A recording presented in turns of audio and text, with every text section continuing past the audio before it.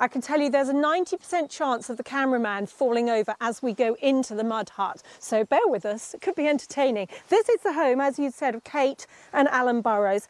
And it is a home, but it is also a home that they crafted with their own hands, their bare hands, from mud and straw bales. Good morning. Good morning. I've been calling you Mr. and Mrs. Bonkers because you're like something out of a cartoon character, a children's book. We are a bit bonkers, but that's in a good way. In a very, very good way. I'm testament to that and your hospitality this morning. It is so cosy and gorgeous in here.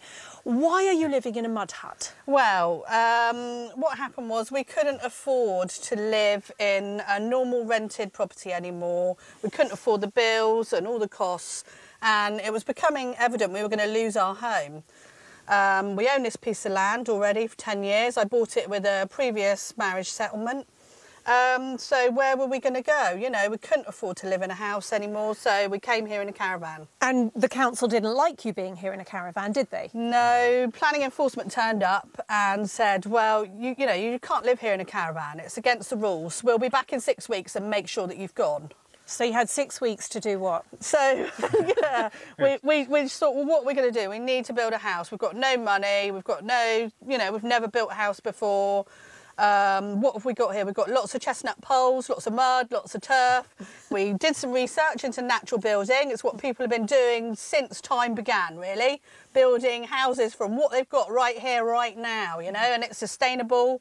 Um, it's low and, impact. And you, you bought know? a book, didn't you? How I to did, build a house. Yeah. And I have to say, it is pouring with rain, one of the P words that we could have used, um, outside, and it is very warm and cosy and very dry in here. Yes, it is. yeah. Everyone wants to know how you live. How do you live? Uh, first of all, how do you eat? Well, we're just normal people living in Really? a natural house. we are. I go to work, you know, we, we shop in Sainsbury's. So here's your cooker And, behind uh, us. Yeah, I've got like a, a caravan I'm going to go and have a little look round. Okay. Do you want me to follow you Here's a, come and have a little look. and so I give you a tour. the cooker running off a little gas stove. Yeah, this Yeah. is our kitchen Small area. Yep. It's like a galley kitchen. That's our cooker. Um, it's a caravan cooker. Slightly And- worried about candles and straw bales, but no. Yeah, it's No. fine. It's okay. absolutely fine. And how do you wash? Is the next well, question. Well, I wash the same as people have washed throughout time with water and Yeah. soap. Don't be cheeky now. Come on, don't be cheeky. Well, I've got one of these um, old-fashioned bowls and jugs, Yeah. you know. How many Um, times do you have a bath? And yeah, we've got we have a bath once a week on a a Sunday. week. Once Sunday a night. week. Yeah. On a Sunday night. Sunday. That was only 48 hours ago. So um, So we're not too popular. you're No, not we're too right stinky. But does it get very fragrant here? Um, no, No. we we find that we actually prefer the scent of you know Natural. naturalness really, rather than perfumes They and stuff that covers it up. Um, and what about the loo? How do you We've go got a to the compost loo? loo. Um, it's a box with a wooden box with a toilet seat on top of it, and we do our business in there. Chuck in a pile of sawdust, Mm. and nature takes care of it. We're not wasting any um, top quality drinking water on flushing away our waste. It's what people spend hundreds of pounds of going down to Glastonbury to do, isn't it? Frankly, Yeah. but Oh, yeah, you do it yeah. every day. Are there times where it just gets on top of you and you wish for the central heating and the Never. Wi-Fi? And Never. the, We love it. We love being Okay. connected with nature and with the seasons, chopping wood,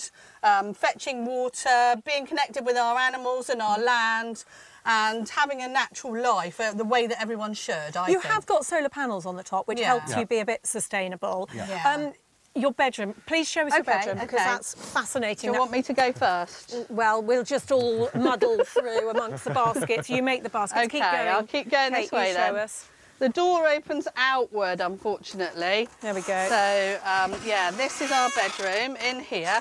This is a bed that Alan made himself. We've got a four-poster four-poster bed made out of wood that Alan made, and um, yeah, we sit in there and watch Netflix at night like any normal. Oh, hang couple. on. You can't do this. I'm running away from modern life and then say that you're sitting at night and watching Netflix. the, Well- whole, the whole point was that you were getting away from modern life as well. And modern life was making you ill, wasn't it? That's right, but modern life in all the poisons. It's all the poisons, all the chemicals, Yep. and the build-up of it.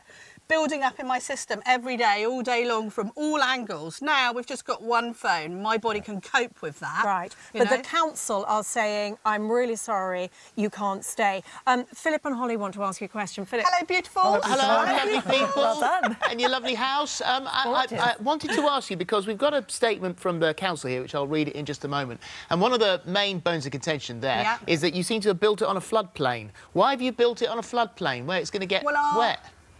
Well, our actual house isn't on the floodplain. It's just that we don't have enough money to produce the documentation to prove that. Yeah. If you use common sense and look around, all the other houses in this area are all on exactly the same level as our house. No water comes up here. If it did, the whole of Devon would be underwater. yeah.